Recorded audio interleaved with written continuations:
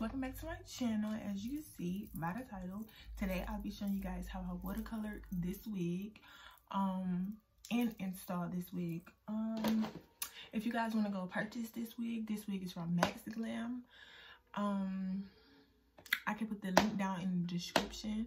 Um within this process i'll show you guys the color that i used on this hair the colors that i use on it to get this color. If you would like to see this process make sure you continue watching. And don't forget to subscribe to your girl's channel. Because why not? Why not subscribe to my channel?